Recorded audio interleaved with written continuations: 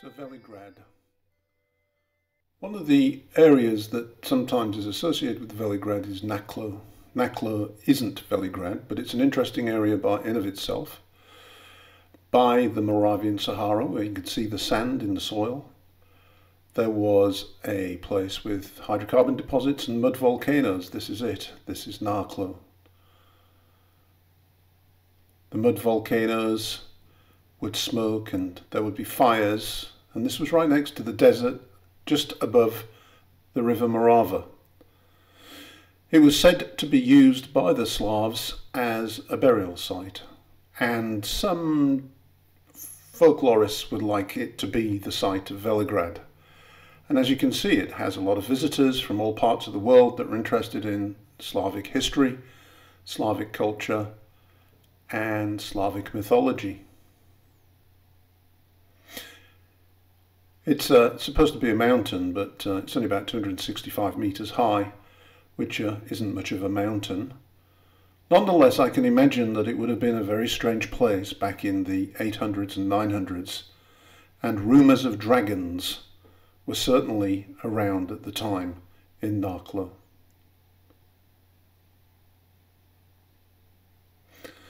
From there we moved on to the proper, probably the proper site of Veligrad, which is uh, uh, Stare Mesto.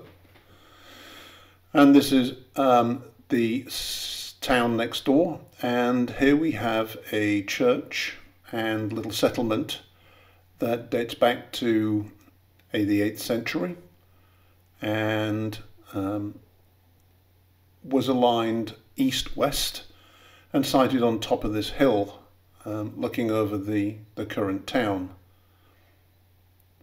What's interesting is that the city of Veligrad was said to have three mountain peaks close by, and those are probably them. You can see that it was a fairly small church with a number of grave sites around it, and that's an artist reconstruction of what it may have looked like. And this is the church, what's left of it, anyway, which is basically just on the hillside. You can just visit it anytime you please not very large, as you might expect. As I said, aligned, aligned on an east-west axis. And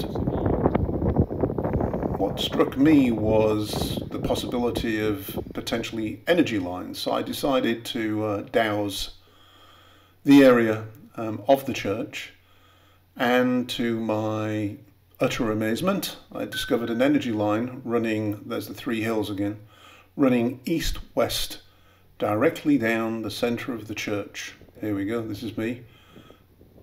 And as you can see, as I get to the middle of the axis, there's the energy line, about a metre, metre or so thick. There's the end of it. As you can see, I'm pretty impressed and, and very happy to have found it. How they did that, I have no idea. How do you site a church on an energy line? Not a clue.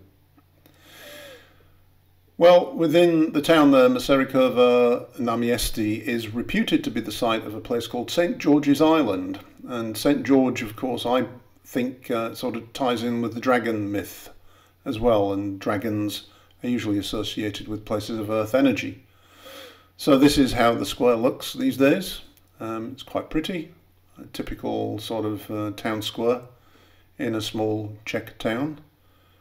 Had a very nice cup of coffee and a small piece of cake.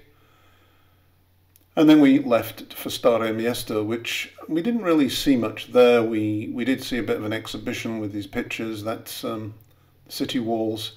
And then in a in a churchyard cemetery, we did find more uh, ruins from the Slavic period, the 800, 900, 1000 sort of period but we really didn't see much. And we moved right along then to Modra, which is just down the road and next door to Velehrad. There's Velehrad, which is the basilica with its energy, earth energy that I've documented in one of my blogs. And the purpose of going to Modra was twofold. One was to visit this open air museum, which is a reconstruction of a Slavic village, and very well done, if I may say so, um, complete with animals and uh, obviously hours and hours and weeks and months and years of work put into building this thing.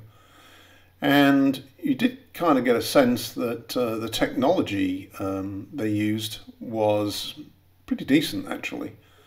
Ovens, clay ovens, um, there was a, a, couple of furnaces. Um, I was quite taken by the window blinds and how they were supposed to have operated. Um, quite an impressive little place and well worth a visit if you're in the area.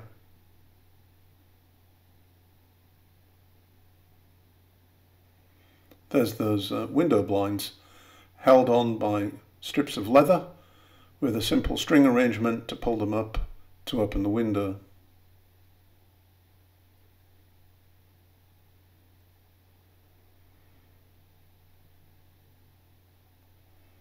Here you see a couple of the uh, ovens. I didn't get that. Could you try again? And a simulation of some of the utensils and wooden materials that they would have needed.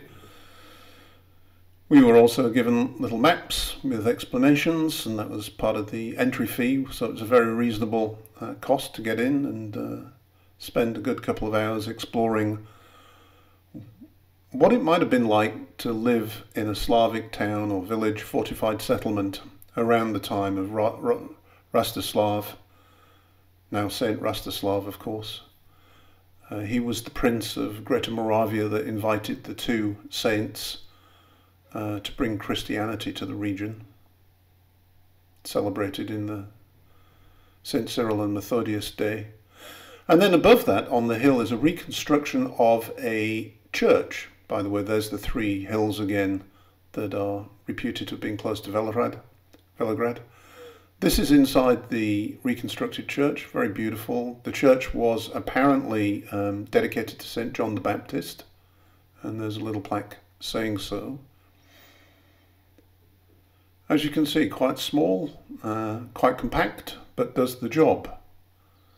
And this reconstruction is sited right next door to the actual ruins of the church, which we will see in a moment.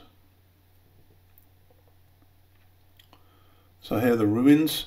Again, there was numerous grave sites around the ruins of the church, just a simple little church. And again, it was oriented east-west. And again, dowsing showed me that an energy line ran straight down the centre of the church east-west. Which again, I, I don't understand how they were able to do this.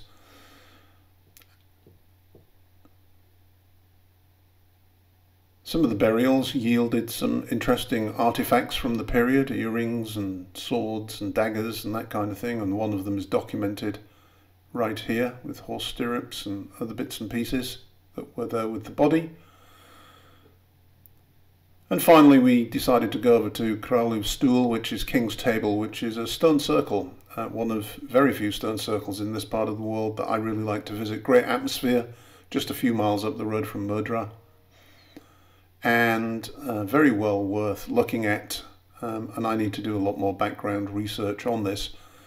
And this, uh, I use this particular feature as the front cover to my book, Chasing Dragons in Moravia, which is about my exploits looking for earth energy and dealing with Slavic history and mythology and the Slavic hierarchy of gods. And there you go. If you are interested in this kind of thing, please do visit my website, which is earthmagicbrno.com, and you'll find there lots of blog articles and, and uh, articles of interest. Um, and also you could potentially look at my books, Chasing the Shaman and Chasing Dragons in Moravia, which are both books about my explorations of the region and connecting with the land. Thank you very much. My main website is garymvasi.com. Please do visit. Goodbye.